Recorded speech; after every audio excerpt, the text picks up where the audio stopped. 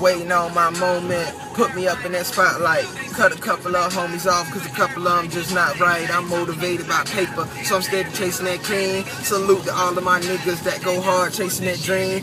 Other niggas be hating, say we was